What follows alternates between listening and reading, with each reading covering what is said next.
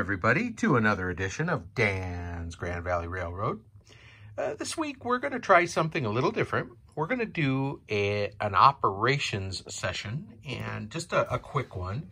But we are going to do a switching operation where we switch out these box cars back here on my industries. This is a freight forwarder and that is a U.S. mail distribution center. And we're going to button up both of those box cars and take them away. And at the same time, we're going to drop a fresh one for the freight forwarder.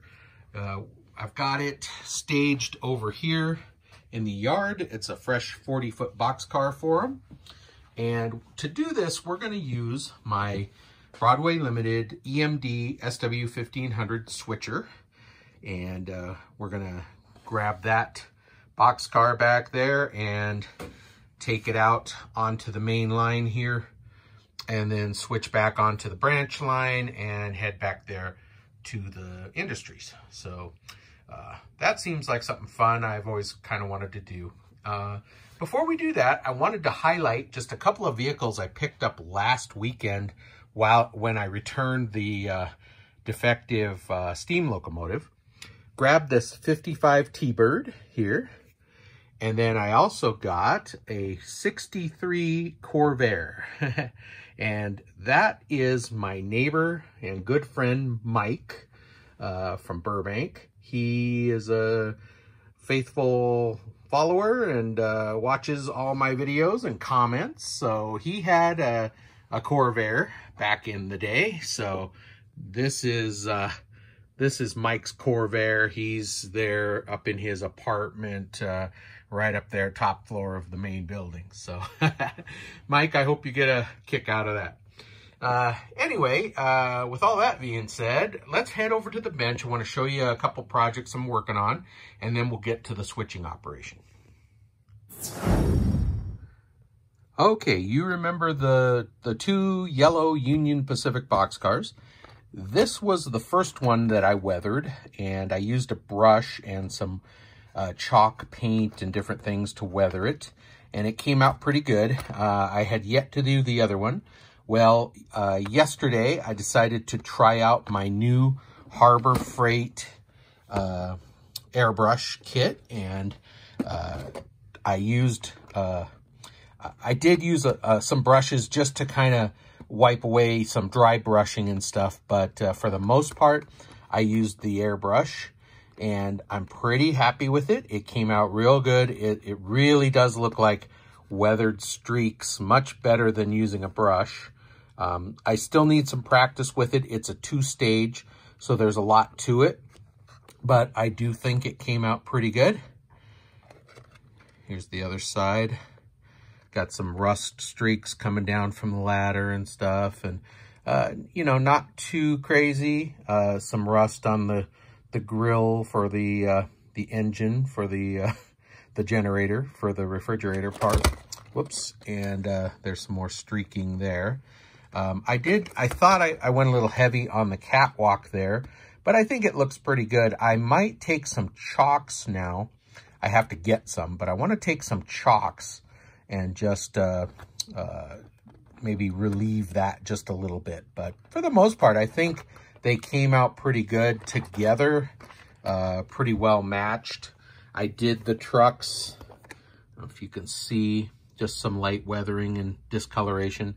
I may do a little bit more uh, splash up down here, some dirt and grime, but overall I'm pretty happy with them. So they look pretty good. So uh, then I got this week, uh, I ordered a breadboard kit and it, from Amazon. It's actually pretty cool. It says it's Arduino uh, compatible, but uh, it came with all this neat stuff. So lots of LEDs, all kinds of transistors and switches and uh, potentiometers and uh, all kinds of really cool stuff.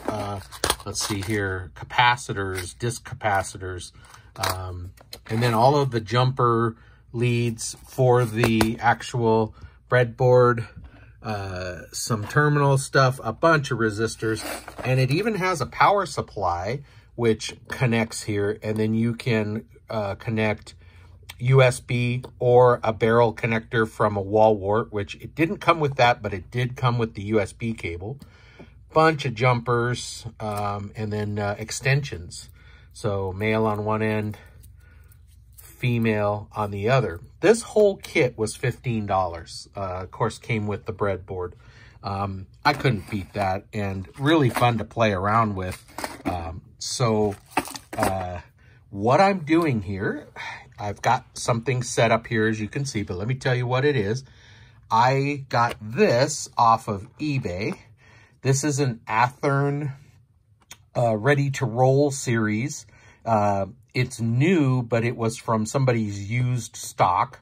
Uh, so it didn't come in a box, but it, it came very well packaged and uh, very happy with it. So I want to do some weathering on this like neighbor Mike did on his. I, I kind of want to match it. So my first uh, step here is going to be, I'm going to take the trucks off, mask up the windows, because you can see they have uh, glass in them. And I'm going to do a dull coat on it to uh, get it ready for some chalks and stuff. So I've got the Testors dull coat uh, in a bottle. So I'm going to have to get some uh, lacquer thinner and thin it down. I think 50-50 is what I read. Uh, thin it down and use my airbrush to uh, spray this. And then later this week, I'm going to go to Neighbor Mike's and we're going to do a little bit of weathering on it to make it more match the one that I have uh, borrowed from him. Uh, and then, now, if you remember, his has a light on the back here, and I'll, uh, I don't have it with me now, but I'll put a picture up uh, right here so you can see. Um, it has a red light on the back part by the door. I'm not sure which side. Uh, his only has one. But so what I want to do is wire this with it as well. Now, there's a couple ways to do that. You can do the uh, trucks with the pickup um, pieces on it that bring power into the cab. And then NCE makes some neat little light-it, uh, they call it light-it PC boards. And, uh, and then you can control uh, lights with it uh, via DCC. And that's pretty cool. Now I have uh, two, a set of trucks and the NCE boards on order. They should be here this week sometime. Uh, now, another option, and I've seen some videos uh, on YouTube of guys that do this, is just use a battery option and put the batteries inside. Uh, there is a, a really cool uh, way that you can use what they call reed switches. These are some reed switches. They're glass, and they use a magnet, and you can have it literally just glued in right on the underside of the roof, use a magnet and it'll switch the light on. Uh, and then you have a battery pack inside, which right now I've got set up with this 2032 3 volt coin battery with a little holder. It has its own switch on it, but I'll switch it on and you can see I've got a light that I can have uh, one on each end of the caboose and then some interior lights if I want. Those are just plain white lights. And I've just got some resistors and it's basically just a real simple circuit uh, lighting those with three volts. Uh, these are two volt, uh, three millimeter LEDs. So I've got them resist, uh, resistor on them to bring them down a little bit so they're not so bright. But I think those would look pretty good uh, on the back end. Um, these inside and then uh, a hidden switch that I could hit with a magnet and that would turn on. So I've got both those options. Uh, I'll have both those options uh, midweek here sometime when that stuff arrives. So uh, uh, I'm deciding what I'm going to do. But the first thing I'm going to do, like I said, is take this apart, mask off the windows, and get some dull coat on it so that uh, we can get it looking weathered. Not too much, but just uh, not quite so plasticky.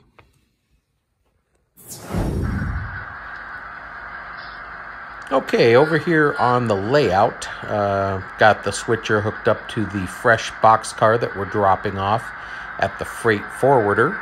So we'll just uh, back up here off the main line onto the branch line and head on down there towards the industries.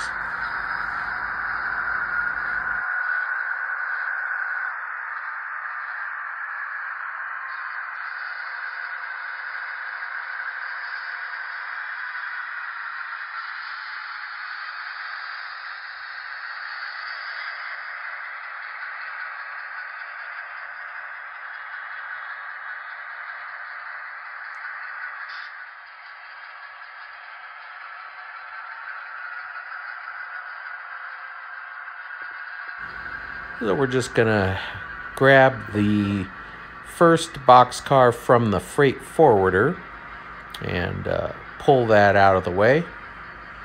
And then we can place the new boxcar, the new 40 footer, for them to load up.